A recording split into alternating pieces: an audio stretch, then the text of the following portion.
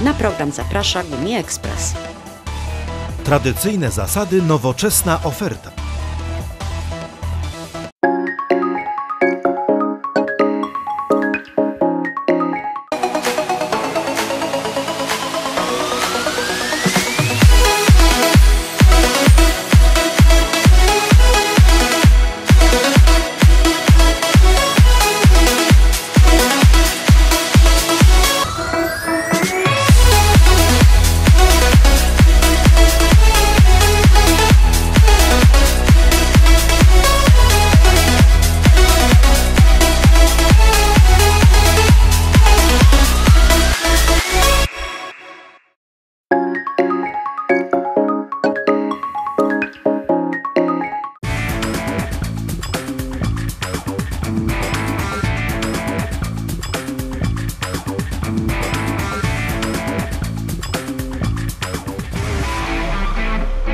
Witamy dzisiaj serdecznie. Dzisiaj, dzisiaj troszeczkę zimno, więc w pomieszczeniu zamkniętym, ogrzewanym.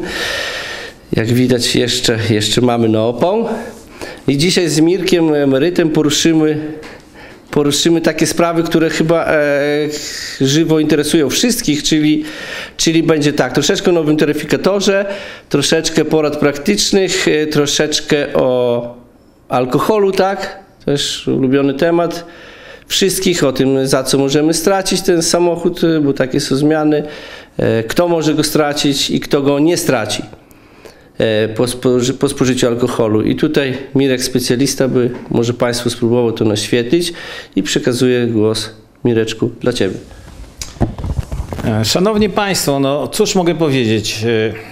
Stworzono nam, prezydent podpisał restrykcyjny bardzo system za jazdy pod wpływem alkoholu, czy też stanie nietrzeźwości. Przepadek pojazdu, którym jedziecie.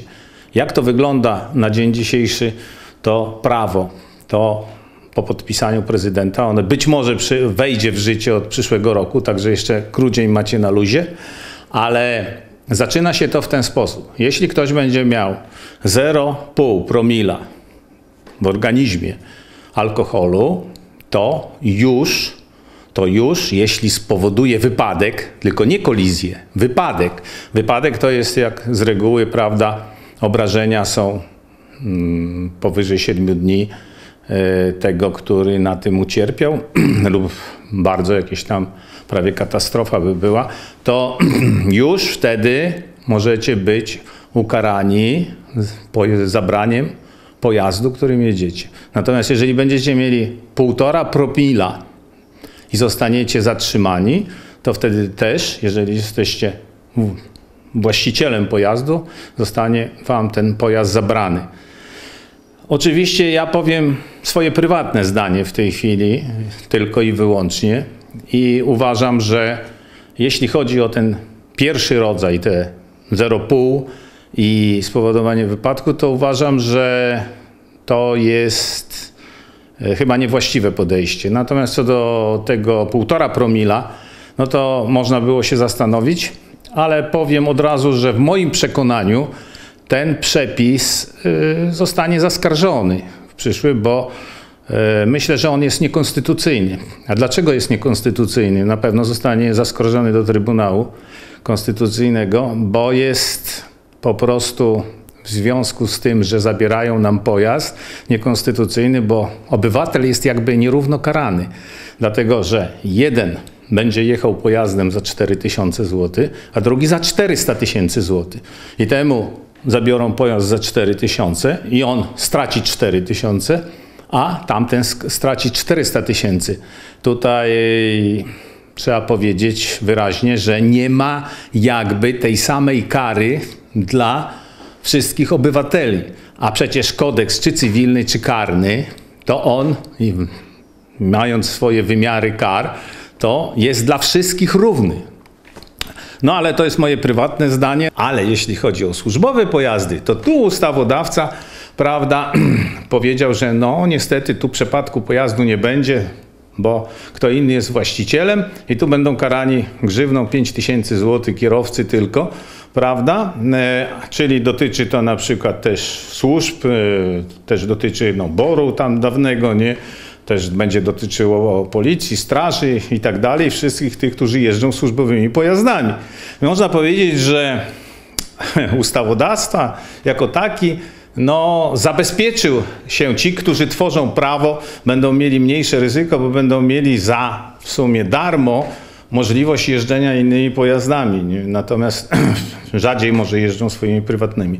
Na pewno najbardziej uderzy to w szarego obywatela. Czyli przeciętny Kowalski, jadąc pojazdem pod wpływem alkoholu, łamiąc te wszystkie przepisy, które rzeczywiście one dobrze, że one są, to my nie negujemy, zostanie zatrzymany i będzie miał powyżej tego pół promila, Mirku, tak? Zostanie mu zabrany samochód i jeśli nie będzie jechał swoim pojazdem e, i równowartość tegoż pojazdu zostanie mu Jak spowoduje wypadek? tak, narzucona, nałożona karą. Natomiast teraz idąc dalej, to już wiemy, co się stanie z Kowalskim. Teraz jak się stanie coś z funkcjonariuszem e, państwa, czy każdym innym, no to nic nie zabiorą, tylko będzie miał taką grzywnę w wysokości 5 tysięcy złotych, mniej więcej. Tak to będzie wyglądało. I żeby być jeszcze uczciwym w tym, co mówimy... Pod wpływem, to trochę więcej. To troszkę więcej. Ale żeby być jeszcze uczciwym, no to, to też to ochroni w pewnym sensie i, i właścicieli firm transportowych, tak, że te auta nie zostaną zatrzymane. I, i, I różnych wypożyczalni, ja rozumiem, Też, tak, tak. i innych rzeczy. No, a, Nawet rodzinnie, jeżeli będzie syn jeździł i tak dalej, to też powstaje problem, bo on y, nie jest właścicielem pojazdu. Jak udostępni ojciec, matka samochód dla dzieciaka i stanie się ten wypadek, to też jest problem prawny i tu na razie już ustawodawca mówi, Ustawodawca mówi generalnie rzecz biorąc, że e, no, nie będzie tutaj e, zabierania tego pojazdu. Nie? To też ciekawa ciekawostka, nie? Tutaj prawna. I mówię, tyle jest takich niedomówień. Słuchajcie, macie 24 punkty karne do egzaminu na dwa lata. I teraz tak, tu was ukażą zupełnie, można powiedzieć, zagapicie się, no ten samochód was się wysunie, prawda, o jedną długość i gdzieś to się staje bezpośrednio przed przejściem, może na przejściu, oni to z drona zbierają i już, trach. 1500 zł, 15 punktów karnych. I w tym przypadku zupełnie się z tym nie zgadzam, bo to jest nieporozumienie. To bardzo często nawet się zdarza. Na Facebooku widziałem, że cywilne e, radiowozy e, wręcz tak prowokują do takich rzeczy, że wolniej jadą prawym pasem i mm, już jest kilka takich fotek. Druga sprawa. Telefon. Telefon. 500 zł za używanie telefonu. Przepis mówi, że jeśli trzymasz go w ręku, to czy gadasz, czy nie gadasz, jak cię nagrają na kamerę, bo to tak zawsze jest dyskusja, jeżeli nie ma tego nagrania, a ten dron też może ci zajrzeć przez szybę, tak samo, że to masz, to już jesteś karany. Policja uważa, że jak silnik jest już odpalony, to już jest te przygotowanie do jazdy. Jak nawet nie ruszysz jeszcze, to jedziesz. Pamiętam takie jeszcze kiedyś e, właśnie historię, że e, wsiadł ktoś, kierowca do samochodu, prawda, i może chciał zabrać drugą butelkę i nawet nie odpalił samochodu i powiedziano, próbowano go ukarać. Ale to jest przestroga dla was. Nie bierzcie tego telefonu, bo jeżeli nagrają was, że trzymaliście go w ręce, nawet stojąc pod światłami, to zostaniecie ukarani 500 zł. Za bardzo egzekwuje się te nowe możliwości przepisów, za bardzo egzekwuje się próby tych przewinień tam, gdzie ich można powiedzieć, że są one minimalne. I nie ma możliwości innego ukarania, jest powiedziane, minimalny mandat 500 zł, minimalny mandat 15, 1500 zł.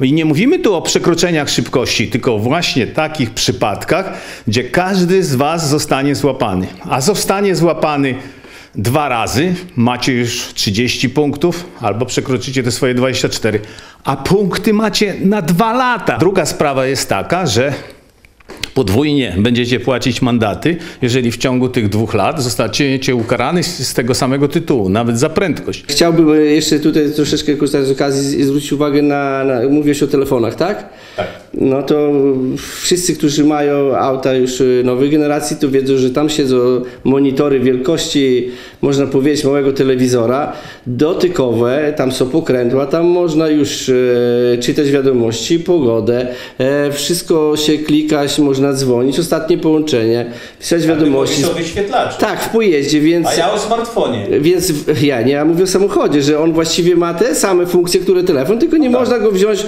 bezpośrednio do ucha przyłożyć, tak? Ale gadać z nim może. A możesz wszystko robić. E, Chyba tylko podczas jazdy, z tego co zauważyłem, nie można inspekcji serwisowej skasować, a poza tym można zrobić wszystko. I to bym w kwestii tych telefonów mówił o tych o strasznych karach e, za te telefony. Teraz e, jeszcze kwestia. Znaczy, chodzi ci o to, że też odciągają uwagę, W prawda? tym samym stopniu. Legalnie? W tym samym stopniu. Też ręce ściągasz z kierownicy, bo, bo na, na, na kole kierownicy można zmienić stację i pogłosić. Natomiast wszystkie inne aplikacje, bo posiadają droidy, trzeba dotknąć i pokręcić. Więc, więc to nie wiem, kto te, to, to przepisy stanowi, no ale dobra, zostawmy to. Teraz druga kwestia odnośnie tych punktów, mówiłeś, utraty punktów w ciągu dwóch lat. E, tak się składa, że, że mamy do czynienia z transportem, tak, mi- międzynarodowym, tu lokalnym. No i większość kierowców zawodowych e, nie chce jeździć w Polsce. Ze względu właśnie na te punkty. I teraz e, pytanie się nasuwa tak. No ktoś wprowadzając coś takiego, to co, co on miał na myśli? Jak kierowca zawodowy, to, to nawet żeby nie wiem jakich on był lotów, tak, i jakiej bystrości, no gdzieś popełni błąd, skoro on robi w miesiącu 15 tysięcy, 12 tysięcy kilometrów, tak? W miesiącu. W terenach zabudowanych, niezabudowanych. I teraz e, ustalono mu ten sam limit punktów, który, który posiada każdy Kowalski, zwykły.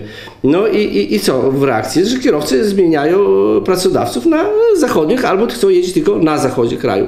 I, i tak jak ja bym, bym, bym oczywiście nie podejrzewam, że on to o, tak skrajno głupotem, no po prostu kosi e, rodzimy transport ciężarowy, tak? Czyli barany. Ja, nie, ja, ja, tego nie No powiedziałem. ale, ja ale ciągle pod, e, wiesz, podtrzymuję to, że po- powinien być złoty baran, srebrny Tak. baran, brązowy I- baran. I tu złotego barana przyznajemy tym. I, i Mirku, tym i, i teraz tak, i teraz skoro taki mechanik z miasta Suwałk sobie wpadł na to, no to Boże mój, no to już te takie tęgie głowy tego nie, nie, nie przewidziały.